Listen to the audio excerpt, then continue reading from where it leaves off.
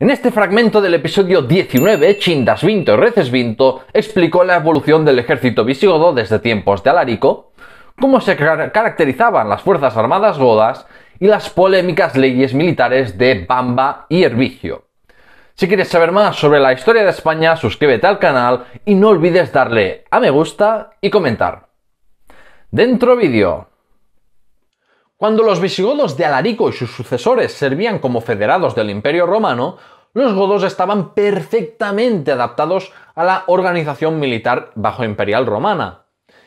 Y se ganaron la imagen de gentes diestras en la guerra, como vimos en el episodio Extra 6, Identidad Goda y su evolución.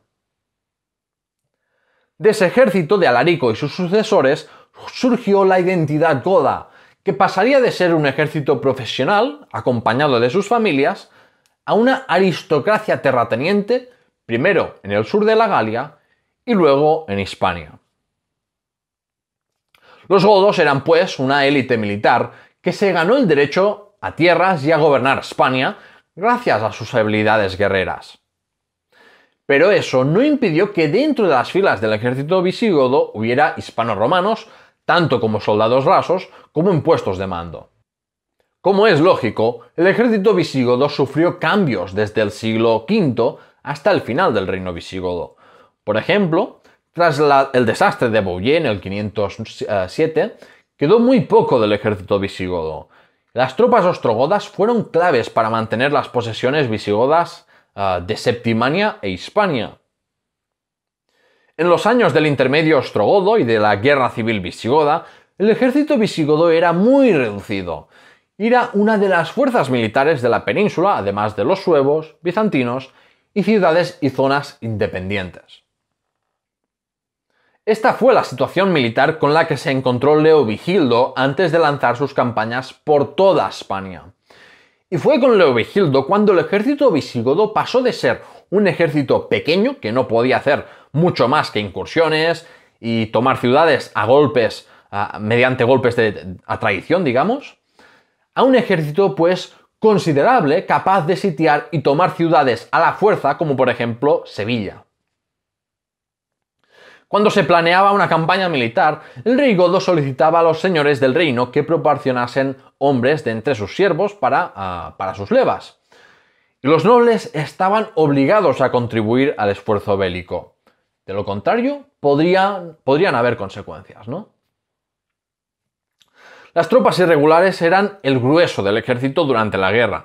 Es decir, había unas pocas tropas profesionales permanentes compuestas por el ejército del rey y los duques y condes situados en las ciudades o en Castella y otras fortificaciones. Remarco que también había un ejército permanente porque algunos historiadores parecen confundidos y lo niegan, cuando lo cierto es que no puede existir un Estado sin fuerzas militares o policiales permanentes. Las leyes militares de Wamba y Hervigio a finales del siglo VII dejan claro que los señores clérigos ah, y laicos, a un radio de unos 150 kilómetros de un, ataque extranjero o de una rebelión, debían contribuir con al menos una décima parte de sus siervos y esclavos adecuadamente armados. De lo contrario, sufrirían duras penas.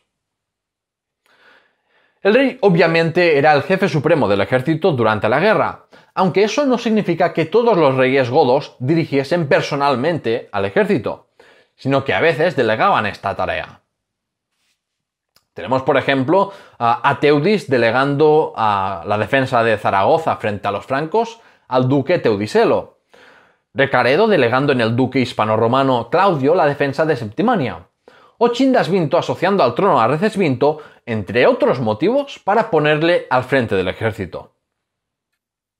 Si una campaña militar terminaba en victoria, los godos celebraban en Toledo un triunfo a la romana, por todo lo alto. Eso sí, sin connotaciones paganas, porque entonces se atribuía la victoria a la divina providencia de Dios. Los triunfos y las acuñaciones de moneda celebrando la victoria reforzaban el prestigio y la legitimidad del monarca. Y si encima se podía denigrar y ejecutar en público al enemigo, pues mejor que mejor. En cuanto a la organización militar del ejército godo, esta era heredera del modelo romano, con el rey o su delegado como autoridad suprema, seguido de los duques de cada provincia y los condes. El ejército real estaba compuesto por espatarios y gardingos de la Guardia Palatina, que conformaban el núcleo del ejército permanente con unos pocos miles de hombres. Además, hay que sumar los siervos y esclavos de la monarquía y las guarniciones fronterizas y, de las principales ciudades y fortalezas. Por otro lado, tenemos el ejército de Leva, que estaba bajo el, mando, ah, bajo el mando de duques provinciales o duques del ejército y estaba formado pues por las comitivas de los nobles y los hombres libres. Las unidades del ejército se distribuían originalmente en tiufadas, compuestas por mil hombres cada una, que al mismo tiempo se subdividían en unidades más pequeñas hasta llegar a los diez hombres. Pero a finales del siglo VII se introdujeron cambios y se hicieron unidades de 3.000 hombres llamadas turmas, a imitación del ejército bizantino. El reino visigodo también tuvo una flota, aunque como dijo Isidoro de Sevilla, los godos no destacaban en el combate naval. Ya vimos la flota goda en el fallido ataque de Teudis sobre Ceuta, en la destrucción de la, flota franca que vino a apoyar a los suevos durante la conquista visigoda, o en la conquista de Málaga durante el reinado de Sisebuto. En las crónicas asturianas incluso se hace referencia a un ataque de los, piratas moros, que, que fue repelido este con éxito durante el reinado de Chindasvinto, o al éxito en derrotar a una flota bizantina en el 697. Sin embargo, no sabemos absolutamente nada de la organización de la flota visigoda o si esta flota era permanente, porque extrañamente no aparece por ningún lado cuando más necesaria era al cruzar el estrecho de Gibraltar los, ejércitos ah, bereberes y árabes.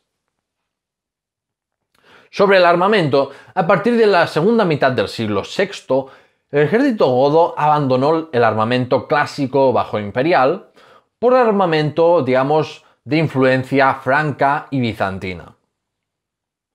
El armamento visigodo incluía espadas, lanzas, hachas, cuchillos grandes, arcos y flechas, corazas, cascos ah, y escudos de madera, además de artillería de torsión para los asedios.